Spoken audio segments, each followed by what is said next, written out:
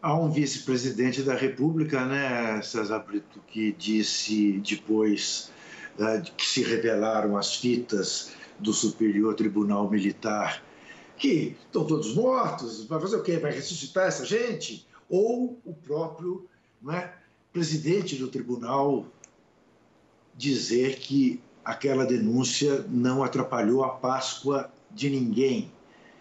Aí é assustador, né?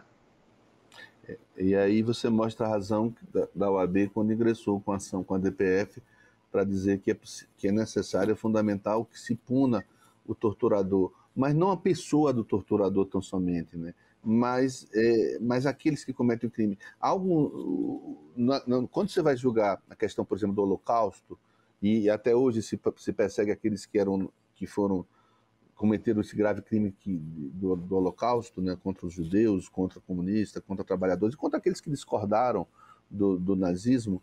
E o último que foi condenado tinha 100 anos de idade e perguntou ao advogado: mas vocês não acham que 100 anos de idade? Disse, não, mas nós não estamos condenando ele.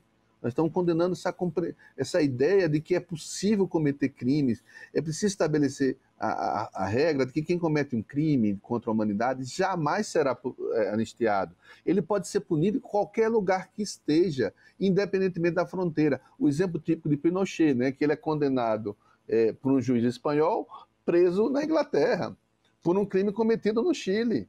Então, contra, contra feiras espanholas. Então, essa compreensão que significa sobrevivência da humanidade. Nós não estamos falando de pessoa, nós estamos falando de sobrevivência do hoje e do amanhã. Meus filhos, meus netos, aliás, minha neta aniversariando agora em abril, elas têm que ter a certeza de que jamais conviverão com crimes contra a humanidade. E a certeza que eu tenho é punindo. Punindo quem comete crime contra a humanidade, jamais indultando, jamais perdoando. E, aliás, a Constituição de 88 graças a Deus, disse isso, dizendo que tortura não pode ser objeto de, de graça, não pode ser objeto de anistia.